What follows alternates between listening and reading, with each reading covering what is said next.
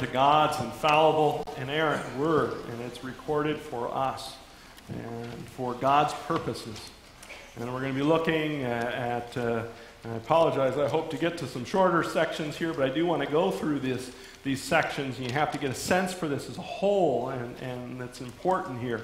Uh, it's so easy sometimes to look at one verse and even take it out of context, but, but we see this story and God revealing his people and, and revealing that we cannot bring salvation for ourselves. We just make a mess of things and life. And yet we see God's grace working faithfully. So let's read from Genesis 29, found on page 27 in your Pew Bibles. It'll be the first 30 verses there. So Jacob went on his journey and came to the land of the people of the east. And he looked and he saw a well in the field. And behold, there was a flock of sheep lying by it. For out of that well they watered the flocks, and a large stone was on the well's mouth. Now all the flocks would be gathered there, and they would roll the stone from the well's mouth, uh, water the sheep, and put the stone back in its place on the well's mouth. And Jacob said to them, Brethren, where are you from? And they said, We are from Haran. Then he said to them, Do you know Laban, the son of Nahor? And they said, We know him. And he said to them, Is he well? And they said, He is well. And look, his daughter Rachel is coming with the sheep. Then he said, Look, it is still high day. It's not time for the cattle to be gathered together. Water the sheep, go and feed them. But they said, We cannot until all the flocks are gathered together, and they have rolled the stone from the well's mouth. Then we water the sheep. Now, while he was still speaking with them, Rachel came with her father's sheep, and for she was a shepherdess. And it came to pass when Jacob saw Rachel, the daughter of Laban, his mother's brother, and the sheep of Laban, his mother's brother, that Jacob went near and rolled the stone from the well's mouth and watered the flock of Laban, his mother's brother. Then Jacob kissed Rachel and lifted up his voice and wept. And Jacob told Rachel, that he was her father's relative and that he was Rebekah's son. And so she ran and told her father. And it came to pass when Laban heard the report about Jacob, his sister's son, that he ran to meet him and embraced him and kissed him and brought him to his house. So he told Laban all these things. And Laban said to him, Surely you are bone of my bone and, and my flesh. And he stayed with him for a month. Then Laban said to Jacob, Because you are my relative, should you therefore serve me for nothing? Tell me. What should your wages be? Now Laban had two daughters. The name of the elder was Leah, and the name of the younger was Rachel. Leah's eyes were delicate, but Rachel was beautiful of form and appearance. And now Jacob loved Rachel, so he said, I will serve you seven years for Rachel, your younger daughter. And Laban said, It's better that I give her to you than I should give her to another man. Stay with me. So Jacob served seven years for Rachel, and they seemed only a few days to him because of the love he had for her. And then Jacob said to Laban, Give me my wife, for my days are fulfilled, that I may go into her. And Laban gathered together all the men of the place and made a feast. Now it came to pass in the evening that he took Leah his daughter and brought her to Jacob, and he went into her. And Laban gave his maid Zilpah to his daughter Leah as a maid. And so it came pass in the morning that behold, it was Leah. And he said to Laban, What have you done to me? Was it not for Rachel that I served you? Why then have you deceived me? And Laban said, It must not be done so in our country to give the younger before the firstborn. Fulfill her week, and we will give you this one also for your service, which you will serve with me still another seven years. And then Jacob did so and fulfilled her week. And so he gave him his daughter Rachel as wife also. And Laban gave his maid Bilhah to the daughter of Rachel as a maid. Then Jacob also went into Rachel, and she, he also loved Rachel more than Leah. And he served with Laban still another seven years. The grass withers and the flower fades, but the word of our God stands forever. Well, brothers and sisters in Christ, it's hard to miss as we look at God's word. God is so painfully honest. He reveals warts and all of all of his people throughout the generations to humble and encourage and to direct our eyes to God's grace and faithfulness in all of our life. Because the reality is, over and over, we see how God takes crooked people and, like a crooked stick, he draws a straight line to fulfill all of his gracious promises. This is God's covenant faithfulness. Know, we just sang that earlier. It's, it's, probably one of the favorite hymns, maybe, of many of you. It's by Thomas Chisholm. And great is thy faithfulness wasn't written like many songs are because of some great tri- trial or deliverance, but, but he was reflecting on Lamentations 3, how God's mercies are new every morning. And this insurance salesman then wrote, and he said the reason he wrote that hymn of Great is thy faithfulness was that God has given me many wonderful displays of his providing care, which have filled me with astonishing gratefulness this ill man, because he was ill most of his life, although he lived till 94, he realized God was faithful not just in the big things, but even in the little things of his life. You know, we need to rejoice in that as well. God is always faithful to his covenant and promises, even to you and me, even when we don't deserve it. And the most difficult thing about God's faithfulness is that our triune God, this true God, has revealed himself here in his word, is not after your or my happiness. He's not even after making our life easy, but he desires your and my holiness, our sanctification. If you doubt that, look at John 17 and see how Jesus prayed for that. He said, Sanctify them. And the tool that God's word God uses is his spirit and word. And to be honest, this can be painful. And why do I say that? Because one of the things God's word shows us is Galatians 6, verse 7. God says something there through Paul. It says, Do not be deceived. God is not mocked. For whatever a man sows, that he will also reap. And that verse, in many ways, is a backdrop for Genesis 29. Because God is showing in His faithfulness, there is no karma, there is no blind luck, there is no just, well, you know what goes around comes around. Because the reality is, God in His sovereignty will not be mocked. He makes sure, particularly even for forgiven believers like us, we will reap what we sow to teach us to hate sin and to push us to trust His faithfulness for every step of our life. And even when we suffer, even when we suffer because of what we have done. We're going to see that here today. And you have to remember the context here because God, by, by that ladder, that stairway really from heaven, revealed his faithfulness and his sovereignty to Jacob, as undeserving was he, as he was, because he was running, because the deceit that, that he had, and the scheme he had, had done to his father and his brother are committed against them. And now in verse 1, Jacob, literally in the Hebrew, it says he lifted up his feet and continue to the land of the people of the east. And this reminds us to trust God, trust the Lord for our daily steps. And I say this because God is focusing on Jacob's feet for a couple reasons. One is, is Proverbs 16 9 to remind us a man, man's heart plans his way, but the Lord directs his steps. Are we trusting the Lord for our daily step, or do we walk out the doors of the church and not really have a thought of God until next Sunday? No, we, we need to trust his unchangeable word. We need to, to submit to his leading. And it seems here that God's covenant promises to Jacob and what he revealed really put a spring in his step because it's, it's kind of like he started off and then, then 450 miles later, boom, Jacob is exactly in the right place. When Moses was writing this, recording this from God, they were getting ready to go into the promised land.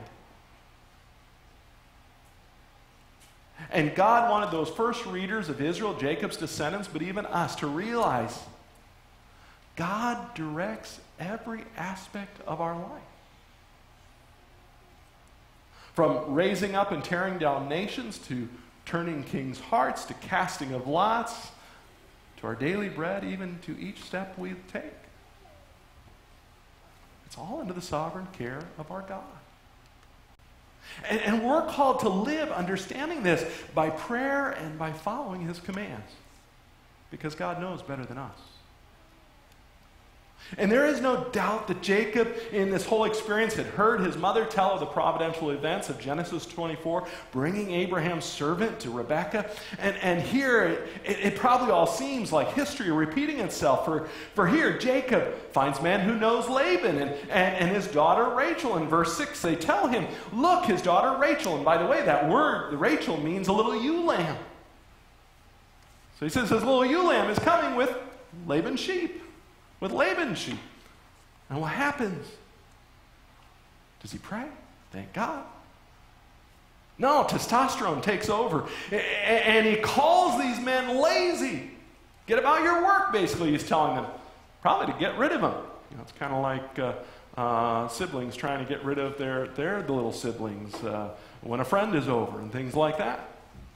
And then they complain, though. They complain that, that the stone was too heavy just for a few men because that was the ancient security. I mean, wells were, were precious in the Middle East. There was very, very little water in there. I mean, we often think of, of Israel and, and the Middle East like, like Minnesota, of 10,000 lakes, but that's not true. And so you had to protect water. And so they put this very large stone that would take many men to, to remove it. That was their ancient security system. But Jacob here, roughly 77 years old, with all of his bravado, takes things into his own hand. He moves the stone from the well. And then he served Rachel by watering her sheep. And then he uses his own two arms again and takes her into his arms and kisses Rachel, probably like the French do, maybe, when they greet people. I admit, the first time that happened to me as a kid, and I was, we had moved to Brussels, my eyes got big, and I think I even said it, What are you doing? and, uh, but here's Jacob, the first kissing cousin in the Bible, who's overcome with immense relief and joy. But what's missing? Well, think back to chapter 24.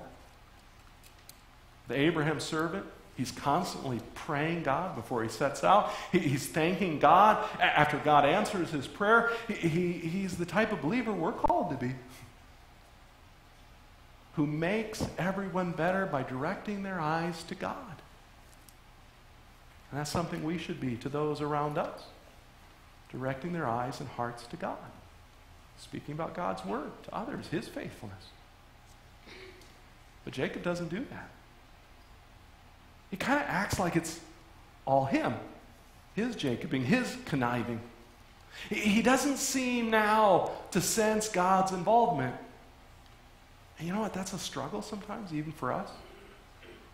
Even the greatest prophet of the Old Testament, Moses, stood before the, the people of Israel and they were complaining and they were grumbling.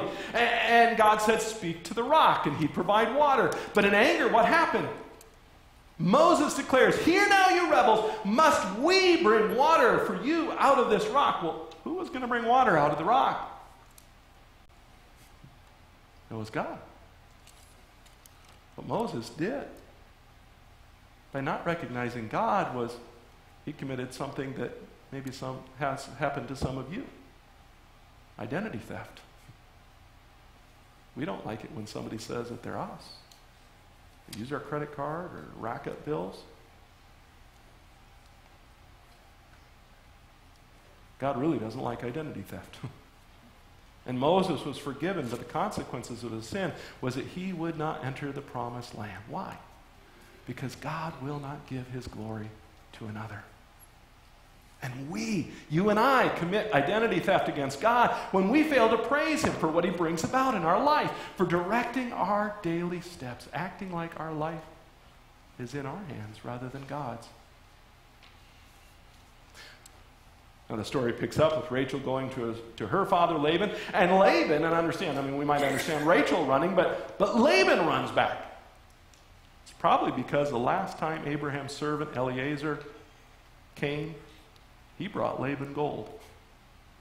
Hey, what's he bringing this time? But here's Jacob. He has nothing. He has the promises of everything, but physically he has nothing. No doubt they cut up on the family and what was happening to Laban's sister and, and, and things like that, which was Isaac's mother, or, or Jacob's mother. But I doubt Jacob told of his deception. Does seem like they know about it later, though. Verse 14, we read, He stayed with Laban and worked with him. And now this brings us to our next point trust the Lord even when we suffer. It's easy sometimes to trust the Lord when everything goes well, but to be honest, when everything goes well, we so easily forget God. We need to trust the Lord when we don't see him. Even when we deserve to suffer for our sin and are called, we're called to patiently endure it. Here's the, the seed of Jacob's sin. It's going to bring a bitter fruit. And so we can't feel too bad for Jacob right now. The deceiver is going to be deceived by a master deceiver. In verse 15, as Laban said, Because you are my relative, should, should you therefore serve me for nothing? Tell me, what should be, your wages be? Laban really is, is, is wondering, What can I get out of this? Laban was not being gracious. In fact, this whole time in the Hebrew, you see it very clearly, but you see it in the English too. This text shows Jacob is, is his eyes are focused on, on Rachel, being enamored with her over and over again. And Laban knew what was going on, but he also had this other daughter that evidently was kind of a little more difficult to get married off. And you can almost see the wheels scheming in his mind. In verse 16 through 17, we're told Rachel is beautiful in form and appearance. I mean, everything about her is beautiful. Uh, but for Leah, whose name either means weary eyed or possibly even wild cow, the best thing said of her is she has tender eyes, delicate eyes. I mean, Jacob thought he had found a beautiful wife. And we have to know while the Bible praises beauty, and, and, wives and husbands should strive to look good for their spouse, to brush your teeth, to clean up, uh, and different things like that. And, and Song of Solomon praises that beauty between a husband and wife. But in Proverbs 31, we can't forget that other part that charm is deceitful and beauty is passing. But a woman who fears the Lord shall be praised. Now, we should be attracted to our spouse, and we should. But the problem in this whole situation is again, Jacob didn't pray and ask, Lord, what's your will in this? And the difficult lesson Jacob now begins to learn is God who works all things together for our good to those who love and are called who love God and are called according to this purpose. It's our good. It's to our good that God never lets us get away with our sin without consequences. God is patient. It's true. And, and, and to be encouraged, brothers and sisters. God forgives the eternal penalty of our sins. They are paid for by the righteous blood of Christ on the cross. But God does not move, remove all the consequences of sin. This is so we don't take sin lightly. God's purpose in this is so that we would prayerfully and by God's word root sin out. As God works in us. And the hard reality here is that God often patiently deals with us through suffering. Much more than he does through blessing.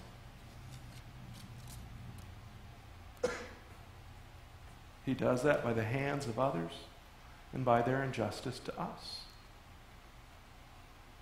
Now, continuing on, though, in, in, this text in chapter 29, while the normal bride price was three years of labor, even slaves in, in Israel, as Deuteronomy tells us, were released after six years, Jacob says, I'm going to serve you for seven years.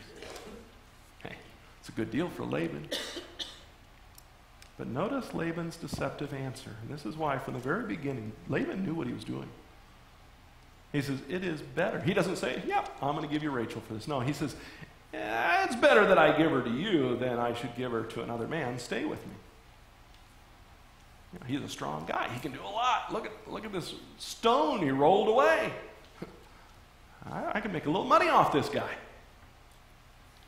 And then we hear those words, which are wonderful, really how those seven years seemed only a few days to him because of the love he had for her. I mean, here's Jacob. He picked his bride, he picked a time. It's a beautiful love story. Things seem to be going well. But then what's the next thing? In the Hebrew, it's, it's really Jacob had to force Laban to follow through in verse 21 Give me my wife. And then he adds crassly again, running by emotions, running by lust, that I may go unto her. God's going to start correcting that attitude. From here on, God will use the painful irony of Laban's deception to reflect Jacob's own sin, to humble him. The first deception all evolved around food and drink, and what's happening here? That's a big celebration. Where there's food and, and there's alcohol, there's drink. There's nothing sinful about alcohol, but there is, it is sinful to get drunk. Jacob knew his father was blind and did everything in a dark tent. Laban will pull this bait and switch at night in a dark tent when Jacob's probably drunk, or at least had too much. Jacob and his mother conspired, and here a father and daughter conspire. Notice the irony. And while Isaac was determined to bless Esau without a thought of God, Jacob was led by his passions to Rachel, while God determined his wife was to be Leah. It was interesting. I videotaped a lot of weddings when I was in seminary. That was my job. And I videotaped a lot of Jewish weddings where the groom would actually go down and, and check to make sure that the woman coming down the aisle was his bride. There was a Middle Eastern wedding, too. I, I, my boss videotaped, I edited it. And it was interesting. We both noticed we never saw the bride until the very end, which makes what happens here more understandable. And this whole account, as tragic and, and, and troubling as it is, is all written because God is sovereign. So you and I would know that when we're taken advantage of, when we suffer loss, or even when we're the target of some evil scheme by somebody else, we don't have to be afraid. Or even if it's the consequences of our own sin, we don't have to be afraid. We don't have to panic. We don't have to feel all is lost. For as the scripture tells us, if we are faithless, he remains faithful. He cannot deny himself. And you and I, no matter what's happening in our life, need to trust Him who upholds our cause from heaven. Our faithful God. Psalm 16 tells us, Lord, you have assigned me my portion and my cup. You're sovereign, Lord.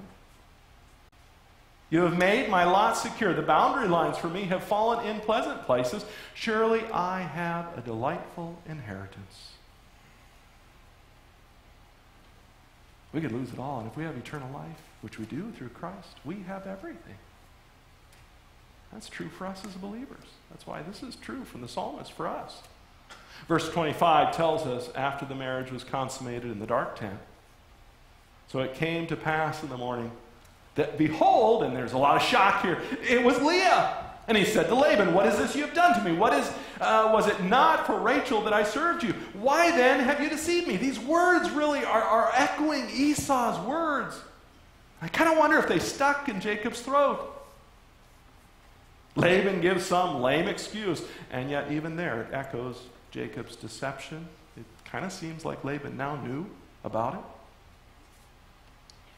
And rather than accepting God's will, Jacob determines to work another seven years for Rachel and he becomes a polygamist with sister wives, which Leviticus 18:18 18 condemns. What's going to happen is sin is going to be compounded. It always happens that way. And while we might like to forget a very important truth that Hebrew, Hebrews reminds us of, that every true child of God is disciplined, for whom the Lord loves, he disciplines realize God has disciplined Jacob. And God often disciplines and uses difficult people to chasten you and I. It, it, might be a boss, it might be an in law, or even troubles with our children, or troubles with a teacher, or, or, or somebody else that we know. God will use harsh people, deceitful, lying, selfish people for your and my sanctification. See, the Lord shows Jacob just how it feels to be deceived and schemed against. Why? Because God, by His Holy Spirit, will often strengthen faith and work godly character by injustice and suffering. We see this all over and over through the Scripture. Isn't that what Paul, who first persecuted the church and then was persecuted for Christ's name, learned as he wrote from prison to you and I even today? from Philippians 1:29. He says, "For to you it's been granted on behalf of Christ not only to believe in him, but also to suffer for his sake, for his purposes.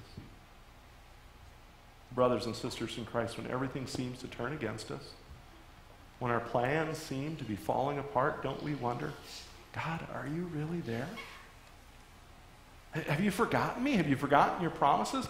And yet, God, the God who determines the end from the beginning, His faithfulness is all over our life, our very steps, and even our sufferings. And it's for His glory and our good. And think about God chose Leah to be Jacob's wife. Why? Because ultimately it would be through her that God would bring His son.